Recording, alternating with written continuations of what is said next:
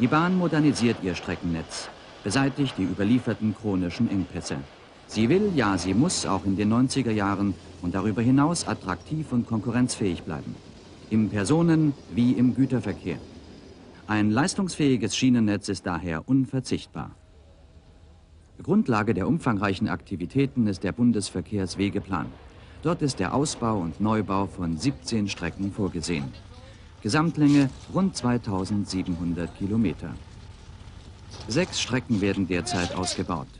Zusätzliche Gleise werden verlegt, Kurven erweitert, moderne Signalanlagen installiert. Maßnahmen dieser Art sind oft ausreichend, um Kapazitätsengpässe abzubauen und höhere Reise- und Transportgeschwindigkeiten zu erzielen. Ein mehrgleisiger Ausbau mit gleichzeitiger Verbesserung der Linienführung ist allerdings nur dann sinnvoll, wenn es sich um eine relativ gut trassierte Strecke mit nur vereinzelten Engpässen handelt.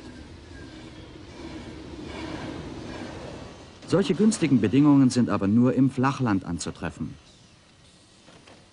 Drastische Eingriffe in die Landschaft hätte dagegen der Ausbau von überlasteten Mittelgebirgsstrecken zur Folge. Das betriebliche Ergebnis wäre trotzdem unbefriedigend, die vielen engen Kurven würden bleiben.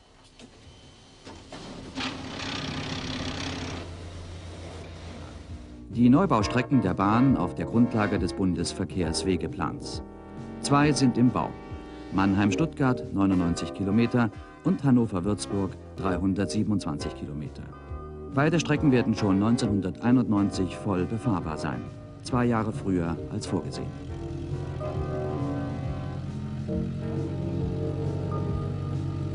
Hier sollen Reisezüge mit 250 Kilometern in der Stunde fahren, die Güterzüge mit 120.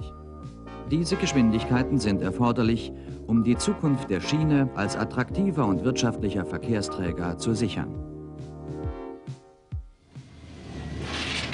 Entsprechend groß müssen die Kurvenradien, entsprechend gering die Steigungen ausfallen. Rationelle Bauweise, Optimierung jeder einzelnen Bauphase sind oberstes Gebot der Streckenplaner. Ebenso wichtig ist die Harmonie von Zweckmäßigkeit und ästhetischer Wirkung der Bauwerke. Ein eindrucksvolles Ergebnis dieser Bemühungen ist die Maintalbrücke bei Gemünden, 135 Meter weit überspannt sie den Fluss, freitragend. Damit ist sie die längste und wohl auch die eleganteste Spannbeton-Eisenbahnbrücke der Welt.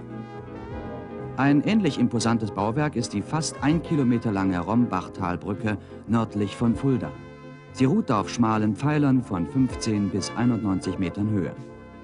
Aufgrund der leicht und grazil wirkenden Konstruktion wird der Blick durch das schöne Rombachtal erhalten bleiben.